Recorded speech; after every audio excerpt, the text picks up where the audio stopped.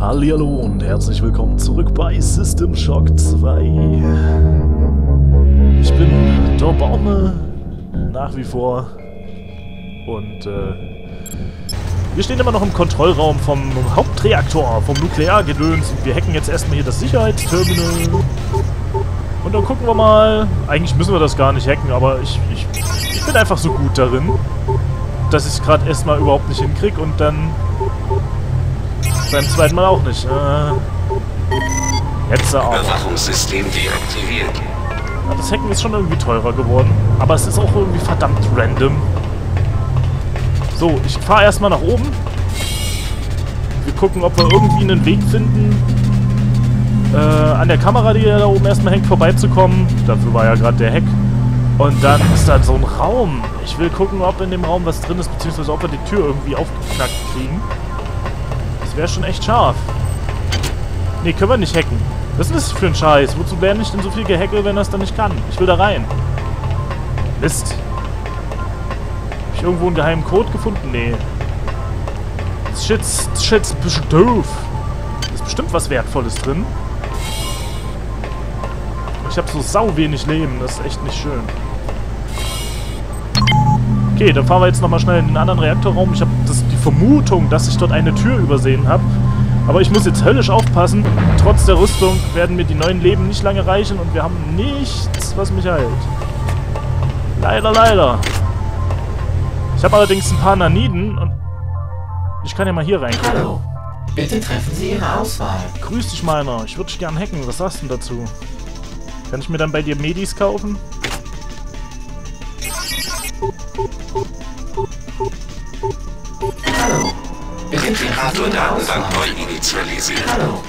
Bitte treffen Sie Ihre Auswahl. Annäherungsminen gibt's, aber kein... Keine Gesundheit. Hachi. Ja, ich bleib, ich bleib wieder hier. Ich bleib wieder hier, ich bleib wieder hier. Wir fahren runter. Ich weiß gar nicht, wo es hier hingeht. Keine Munition. Wow!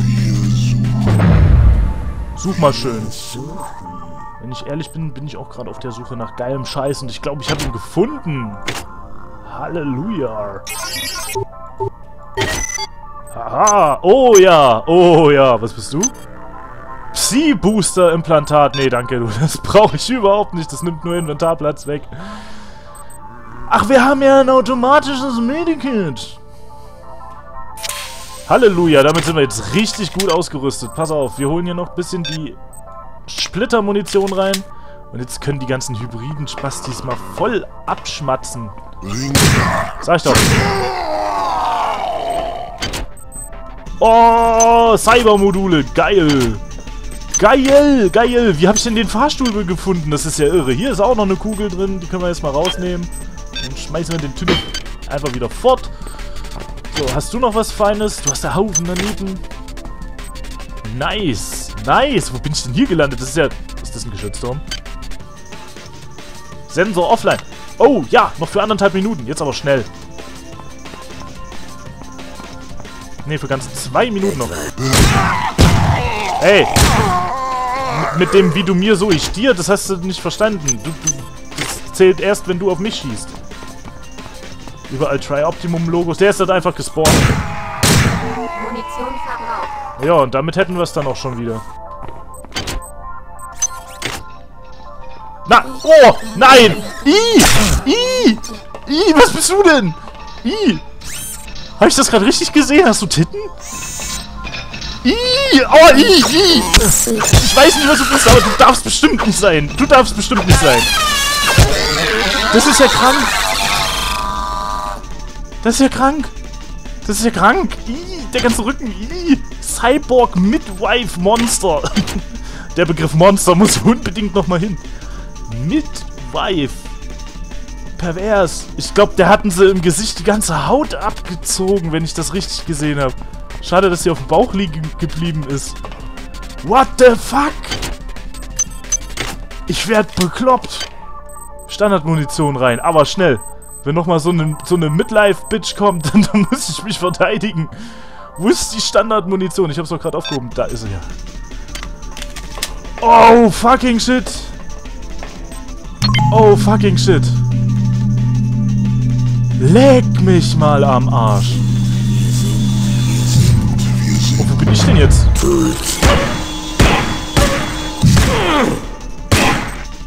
Na! Meine Herren, hat das lange gedauert. Viel zu viel Munition verschwendet. Ach, jetzt verstehe ich, wo wir sind. Wir sind, wir sind, wir sind... Wir sind wieder hier. Okay. Ach, das war der Aufzug, wo ich sowieso rein wollte. Das ist ja praktisch, weil jetzt kann ich mir hier noch ein bisschen, Hallo. bisschen Leben Bitte kaufen.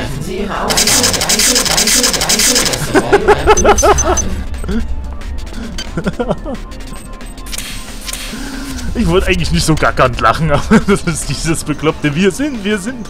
Ne, Quatsch, dieses Danke, danke, danke. Überwachungssystem aktiv. Ah, das ist mir egal. Ich überlege, ob ich einfach mal mit dem Aufzug nochmal in den zweiten Stock fahre und wir dort erstmal in aller Ruhe leveln gehen. Aber bevor ich das tue, mache ich Quicksave. Jawohl, ja, und dann... Der Fahrstuhl ist da. Der verfickte Fahrstuhl ist da. Ich bin ein glücklicher Baume. Fucking glücklich. Scheiße, Mann. Darf ich mir was raussuchen? Medi-Scheiß. Ja, ja, ja. Medi-Scheiß. Hör ich da was? Nee.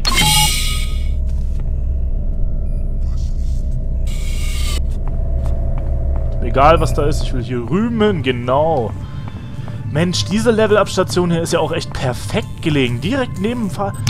Also ganz ehrlich, das Level-Design hier in dem Spiel ist wirklich, wirklich gut. Auch der Tunnel gerade eben, wo der uns hingeführt hat, wo ich die ganze Zeit schon rein wollte. Wirklich, wirklich gut. Das mückt, wie der Mediengestalter so sagt. So, scheiß auf Psy-Kräfte, ich will motherfucking Laser. Laser, Laser, Laser, wo ist Laser? Da, 12 kostet's, ist mir egal. Und Schrot. Schrot? Schrot, ich habe 25, warte mal kurz. Kann ich, kann ich jetzt Laser nehmen? Und modifizieren. Modifizieren, geht es? Waffe aufgerüstet, Laser, Stufe 1. Geil. Ändern? Was ist ein Ändern? Ändern? Modifizierung Stärke 4 benötigt. Ich werde auf jeden Fall eine Menge rummodifizieren. Das kommt bald. Okay. Dann können wir uns ja jetzt von der Pistole verabschieden. Nee, nee, die behalte ich natürlich noch als Ersatzwaffe. Es sei denn, ich kann mir jetzt gleich nochmal Schrot leisten. Weiß ich nicht. 6 kostet das nächste. Ich mache mal einen Quicksave. Äh, äh, äh, äh, äh, hier war's. Alt S? Genau. So, dann gucke ich nochmal hier drüben. Mussten wir jetzt nochmal was... Nee, nee, Hacken ist, ist... Brauchen wir nicht. Modifizieren kostet 5 für die Stufe 2. Wir könnten aber auch mal langsam ein paar Sachen erforschen. Huch! Scheiße, das war für ein Arsch. Moment, halt. Schnell mal laden. Ja, nee, da, da, da habe ich mir gerade nur ein halbes Medipack reingepfiffen. Das ist natürlich Quatsch. Ich wollte nur die Saftflasche trinken. Oh, oder ich mache einfach alles, damit ich dieses blöde Laserding hier benutzen kann. Was brauche ich dafür? Wendigkeit von 3. Waffenenergie von 4. Okay.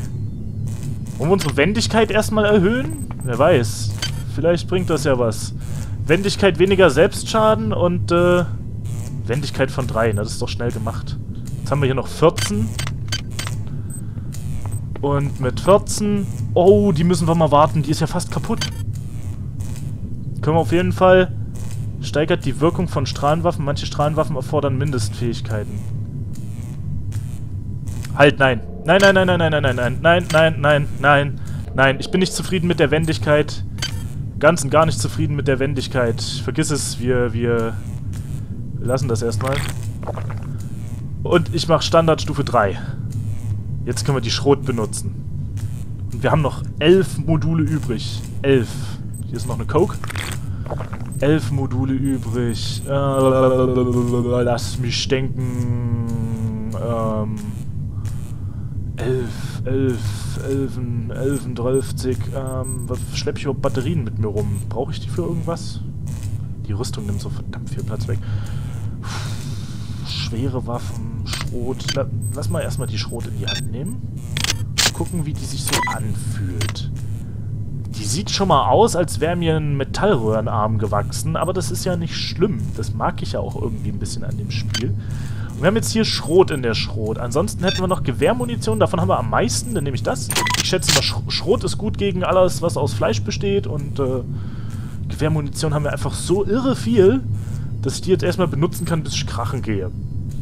Das heißt, eigentlich könnten wir die Pistole sogar wegschmeißen. Aber ich nehme erstmal die Strahlenwaffe. Komm, wir nehmen erstmal die Strahlenwaffe, weil äh, die gerade voll aufgeladen ist und weil wir da wahrscheinlich voll selten Muni für finden. Alienwaffen. Ah, interessant. Psi ist mir, ist mir egal. Nein, den Psi-Zweig lassen wir einfach weg. Zockt das Spiel doch selber, wenn ihr Bock auf Psi-Kräfte habt. Modifizieren ist auch gar nicht teuer.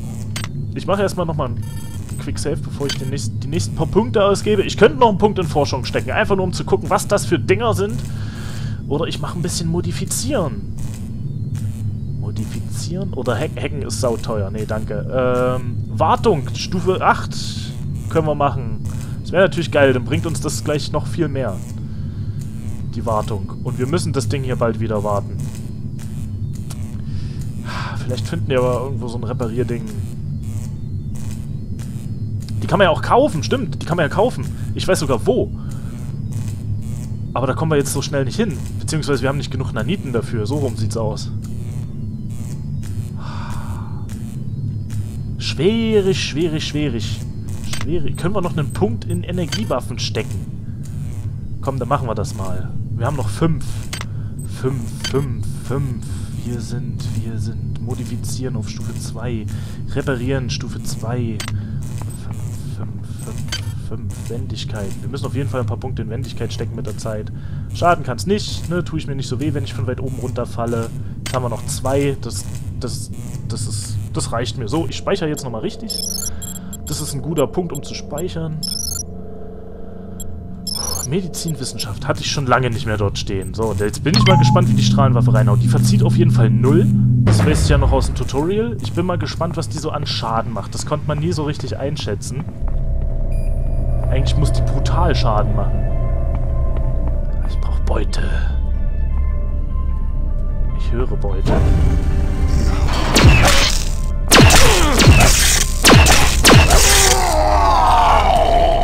Okay, das läuft. Ich müsste eh nochmal fix, fix aufladen. Dann gehen wir nochmal hier runter, wo es so schön laut ist. Ich frage mich auch, wie effektiv die gegen ähm, gepanzerte Ziele ist. Das wäre auch nicht schlecht zu wissen. Und das Ding ist auch in der Nähe vom Fahrstuhl. Also hier mit dem Medi-Level, äh, mit den Forschungseinrichtungsgedöns, haben wir echt ein gutes Level, eine gute Etage. Und hier in der Etage, man muss zwar ein ganzes Stück laufen, aber hier kann man halt auch... Äh, hier kann man halt auch Wartungswerkzeug kaufen. Das ist eigentlich so das, was ich mit am geilsten hier finde. Aber wie gesagt, dazu fehlt es uns an Naniten. Wir haben gerade mal 24. Irgendwo kann man auch Sachen recyceln. Aber ich gehe erstmal wieder in Aufzug und wir folgen der, der Story. Und wie schnell der da ist, ist es unglaublich. So, wo sollen wir hin? Deck 4. Ich guck mal in meine Notizen. So. Äh... Kern aktiviert. Pipapo. Reaktorkern ist jetzt wieder aktiviert. Gehen Sie jetzt zum Aufzug und kommen Sie zu mir auf Deck 4. Inzwischen habe ich einige anilidische Artefakte an Bord des Schiffs entdeckt. Ich glaube, diese könnten Ihnen nützen und deshalb habe ich diese Informationen in die Waffen-Upgrade-Einheiten des Schiffs geladen. Diese können die Informationen an Ihr Cyber-Interface weitergeben. Worauf warten Sie denn? Gehen Sie zum Aufzug.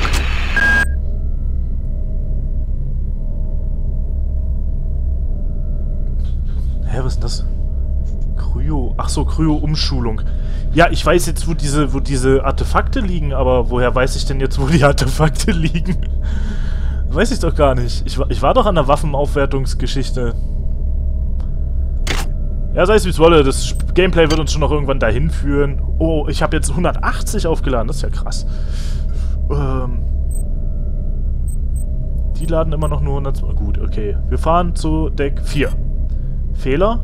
Schacht unzugänglich. Warum?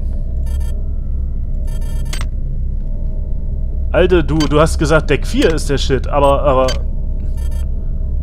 Willst du mich eigentlich verarschen? Freizeit. Wollen wir mal hoch in die Freizeit fahren? Ich will nicht wissen, was auf einem alienverseuchten Raumschiff Freizeit bedeutet. Lass es mich nochmal durchlesen. Deck 4.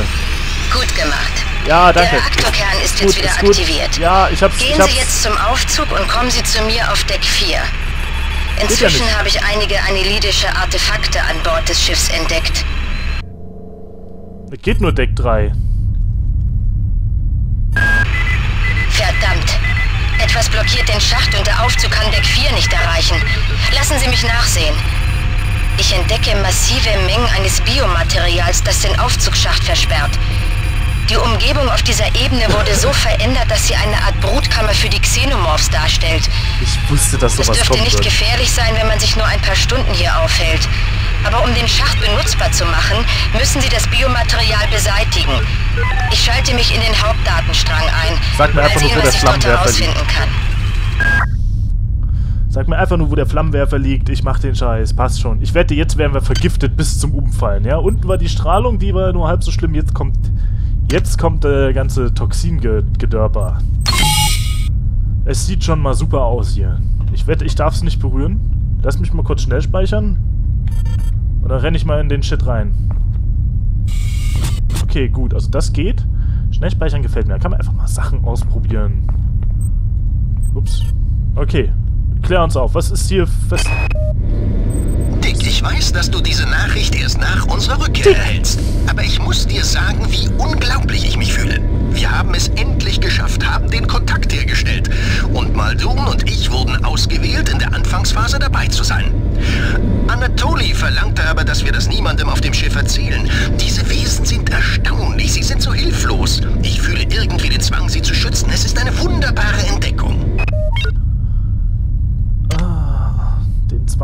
schützen. Das hast du schon richtig erkannt. Das ist ein Zwang. Wahrscheinlich so ein Gehirnwäsche-Parasit. Kennt ihr das Spiel? Ähm, wie heißt es? Äh, äh, ähm, oh, mir liegt's auf der Zunge. Ein übelst geiler Seuchensimulator. Plug Inc. Plug Inc. Ja, gibt's sowohl fürs, für Smartphone, aber jetzt seit neuestem auch für Computer, auch auf Steam. Plug Inc.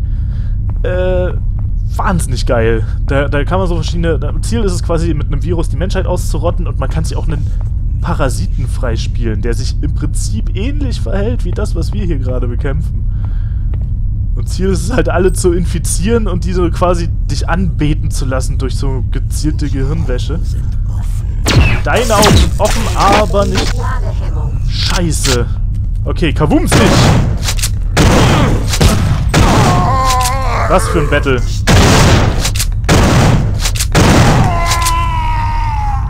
Okay, okay, ich hole mir nie wieder die Pistole raus. Oh ja, mit der Schrot geht's ab. Okay, ich repariere noch schnell mal die Laser Pew Pew. Wir müssen die dringend warten. Wir müssen die dringend warten. Kontrollstation. Okay, da, wisst ihr was? Da geht's, da geht's in der nächsten Folge weiter. Ich speichere jetzt. Ui, Verzeihung. Ich speichere jetzt erstmal.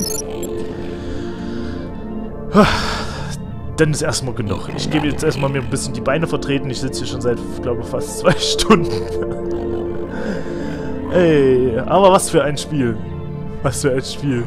Ich habe jetzt einen Schrot. Habt ihr das gesehen? Habt ihr das gesehen? Wie die Rapam, Rapam. Das ist ja irre. Und ich habe einen Laser Pew Pew. Und jetzt habe ich noch immer meine Notfallpistole, aber ich überlege sogar, ich werde wahrscheinlich, wenn ich jetzt noch den äh, Laserdegen mit mir rumschleppe, werde ich die Pistole vielleicht sogar wegschmeißen, damit ich mehr Platz im Inventory habe. Das Gute ist, dass ich zwei von diesen äh, Implantaten habe, die meine Stärke erhöhen. Damit verliere ich zwar effektiv einen Slot, aber ich gewinne ja äh, quasi drei dazu, dadurch, dass ich eins drin habe. Und Gemeinsam hält deren Akku so verdammt lange, dass wenn ich merke, der zweite ist auf der Hälfte, renne ich einfach zum Fahrstuhl, fahre nach unten und lade die dort auf. Wir sind jetzt super schnell in der medizinischen Abteilung, haben dort unsere Level-Ups, haben dort unseren äh, Stromgenerator. Und wenn ich irgendwann mal die äh, Naniten zusammen habe, werde ich mir auf jeden Fall noch ein paar Wartungswerkzeuge holen. Und der Granatwerfer liegt da ja noch rum. Aber ich glaube, das ist eine schwere Waffe. Den lasse ich dort lieber erstmal liegen, den kann ich nicht benutzen. Da müssen wir erstmal die schweren Waffen aufleveln. Ich glaube, Level 3 hat der gebraucht. Der lag in der Küche unterm Tresen. Den habe ich zwar angefasst und äh, den habe ich dann aber, ich habe den ja nach neu geladen. Das heißt, der liegt jetzt noch immer da. Den habe ich eigentlich nie aufgehoben. Ja, dort wo die Crew ist, ne? Wo, wo jetzt dann die ganzen Äffchen rumrennen. Wo das erste Mal dieses riesen war. Ich bin gespannt, ob wir noch so ein, so ein Terminal finden. Es gab ja eins, wo, womit wir quasi unseren Hack-Skill verbessert haben, dass wir einfach mal plus 4 auf alle Sicherheitsanlagen kriegen. Was sehr geil ist, was das Hacken der Sicherheitsanlagen wirklich sehr leicht macht. Das merkt man schon, bei den Kisten ist es zwar total random, das Hacken, aber man merkt ja, wie viele Versuche man braucht, bis man es hat. Irgendwann schafft man es immer, aber wenn es dann, wenn man vier Versuche braucht, um so eine Kiste zu öffnen, wobei mit den Kisten ist auch wieder so eine Sache, die, die sollte man beim ersten Versuch öffnen. Nee, warte, nee, man kann ja immer wieder neu starten. Ach, ich weiß es gerade nicht. Ist egal. Jedenfalls finde ich, wir haben verdammt viele Cyberknotenpunkte gekriegt. Wir haben die verdammt gut investiert. Ich weiß, das mit dem Psi ist so ein Aspekt vom Spiel, den ich komplett ausblende, mache ich aber mit voller Absicht, weil äh, keinen Bock auf Stecker immer haben. Nee, keinen Bock auf Stecker immer haben. Geht nicht, nein. Ich will hacken. Keine Cyberknoten übrig für Psi. Da muss man irgendwann mal Abstriche machen. Äh, äh, Abstriche sind was anderes. Ihr wisst, was ich meine. Ähm, wir machen erstmal weiter den Kurs. Ich werde so der Hacker-Waffennah werden in diesem Spiel. Will ganz viel meinen Scheiß modifizieren, will aber auf jeden Fall, und das hat jetzt oberste Priorität, es sei denn, ich finde was anderes Geiles, mir den Laserdegen freispielen. Dann heißt es Adios, Schraubschlüssel und Hallo, Jedi-Kräfte. Und wer einen Laserdegen hat, der, der, der braucht keinen kein Psi-Scheiß mehr. Ja, also es reicht ja. Ich bin, es gibt ja die Schwertkämpfer-Jedis und dann gibt es mehr so die Machtkämpfer-Jedis und ich bin mehr so der Schwertkämpfer. Der Schwertkämpfer mit einer Laserpistole und vielleicht noch, vielleicht kommt noch ein modifizierter Raketenwerfer drauf. Ich bin der Baume, ich hoffe es hat euch gefallen. Lasst mir ein Like da, lasst mir einen Kommentar da, äh, lasst mir, weiß nicht, ja, keine Ahnung, klickt noch mal irgendwas Nettes neben euren Monitor, wenn ihr ein Video von mir guckt. Vielleicht eine kleine Schachtel Schokolade, ihr könnt sie ja dann quasi für mich essen. Und äh, ja, lasst es euch gut gehen. Ne? Ich lasse es mir auf jeden Fall gut gehen. Ich habe jetzt noch ein bisschen Bier. Ich mache jetzt hier endlich Feierabend. Heute war ein anstrengender Arbeitstag. Morgen geht's weiter. Werde jetzt noch die Beine hochlegen und ein bisschen Let's Plays gucken. Ne? Ich mache das ja auch. Bis zum nächsten Mal. Auf Wiederschauen und reingehauen. Cheerio. Und das Handtuch nicht vergessen.